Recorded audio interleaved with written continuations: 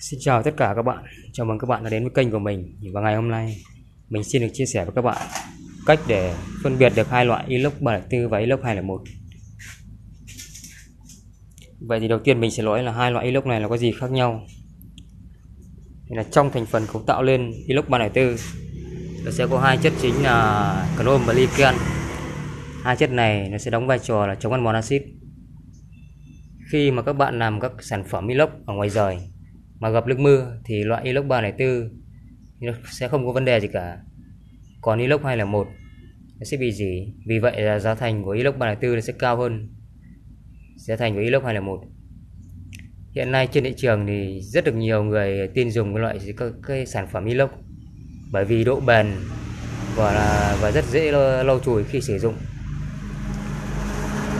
Các bạn cứ để ý là trong nhà không nhiều thì ít sẽ có sản phẩm dùng đến đi ờ, cái loại inox này. Nhà nào ít thì là có một vài sản phẩm như là cái ờ, giá úp bát đĩa chẳng hạn. Còn nhà nào nhiều thì làm toàn bộ bằng lan can, cầu thang, sen hoa, cửa sổ, rồi cổng hàng rào toàn bộ bằng inox. Ví dụ bây giờ các bạn có nhu cầu làm ờ, sản phẩm nào đó cho ngôi nhà của mình, như là một bộ cửa cửa cửa cổng chẳng hạn các bạn à, đặt mình làm làm bằng loại 304 Thế nhưng khi mình lắp xong các bạn muốn kiểm tra lại xem có đúng là hàng 304 không thì các bạn phải làm thế nào. Sau đây mình sẽ chỉ cho các bạn những cách để phân biệt hai loại inox này.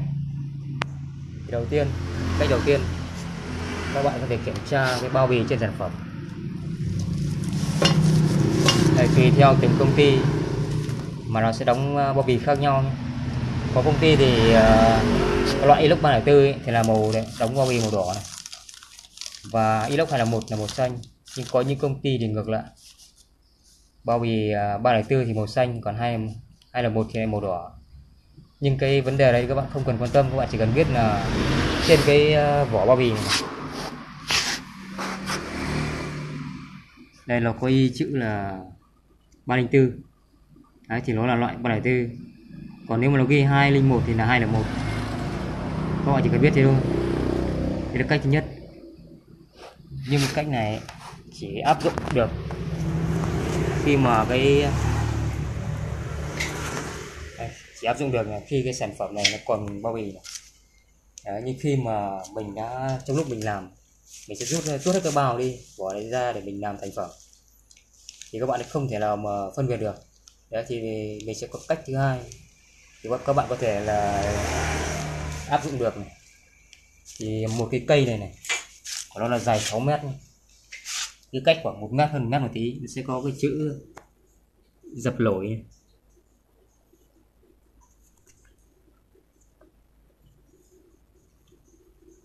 à, nó dập lỗi này 304 Đấy. tùy theo từng công ty nó sẽ có logo khác nhau nhé nhưng cái chữ 304 này này 304 là hoặc là 201 nhưng mà hàng 201 là nó ghi nó dập 201 nó 304 là dập 2 304 Đấy, các bạn cứ nhìn trên thân cây này, này nó dập dập luôn trực tiếp vào thân cây. Cứ một mét này đây một đoạn lại có dập một chữ này. Đấy. Cứ một đoạn là dập một chữ này. Đấy. Thì khi mà lên thành phẩm rồi ấy, thành một cái cổng chứ các bạn có thể kiểm tra.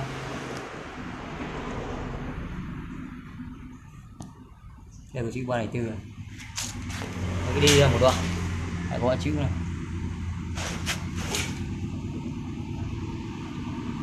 Hơi bóng khó nhìn đây ba này tư này Đấy, cứ một đoạn là các bạn có thể nhìn được.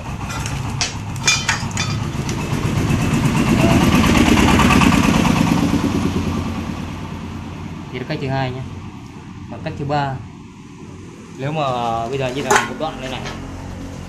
Đoạn này nó không có chữ. Đấy, thì mình có thể là dùng cái thuốc thử. Thuốc thử để mình thử.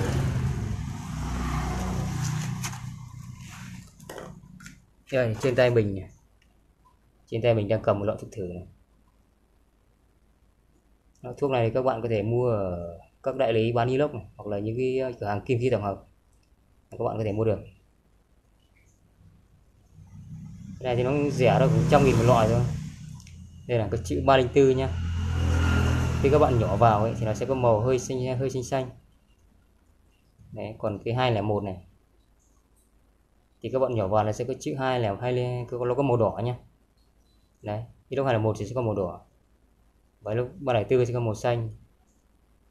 Bây giờ mình sẽ à, nhỏ thử nha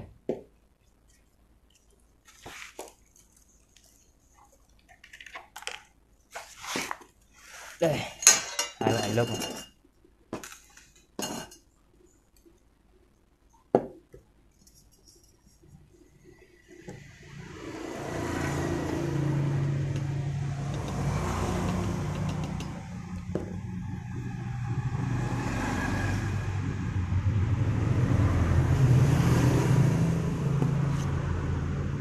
các bạn thấy không?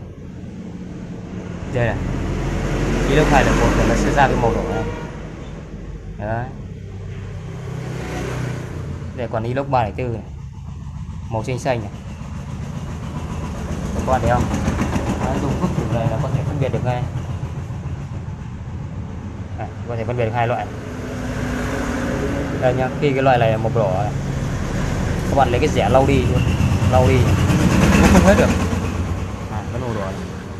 Ba để tư này đấy, nó bây giờ hầu như không có màu, nó chỉ hơi ra màu xanh xanh một tí này đấy.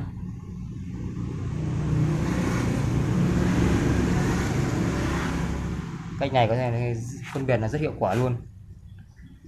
Là chuẩn chuẩn nhất đó. còn đâu là nhiều người cho rằng dùng nam châm hút để phân biệt được mà loại 304 và 201 người ta bảo là, thường thì bảo là 304 sẽ không hút và 201 thì hút nhưng nó chỉ đúng trong trường hợp là khi mà mới tạo hình mới tạo thành cái tấm inox. Thì mình à, dùng nam châm để mình thử thì 304 nó sẽ không hút và 201 nó sẽ hút. Nhưng trong quá trình ấy, mà công ty họ cho vào máy họ cán họ tạo ra những cái sản phẩm như này, này họ đã dập tạo hình như này, này có các góc cạnh này, này thì nó sẽ sinh ra cái từ tính. Và khi ờ, mình dùng nam châm để mình thử thì nó vẫn sẽ hút bình thường. Hàng ba là tiêu hút mà hàng hai là một hút. Vì vậy là nhưng cái nhưng cái chất lượng của sản phẩm ấy nó sẽ vẫn không thay đổi. Nên các bạn dùng nam châm ấy để các bạn kiểm tra thì sẽ không thể nào chính xác được nhé. Đấy, còn đâu là chỉ cái, cái các bạn có thể kiểm tra thuốc thử là chuẩn nhất. Hoặc là xem các cái, ờ, cái chữ dập lỗi trên cái ờ, dập lỗi trên cái sản phẩm này. Là chuẩn này. Đấy. thì các bạn hãy ờ, chia sẻ video này đến cho nhiều người cùng biết các bạn thấy à, hay, thì hãy like và đăng ký kênh để ủng hộ mình. Và nhớ nhấn chuông để đón nhận những video tiếp theo, chia sẻ tiếp theo của mình. Xin chào tất cả các bạn.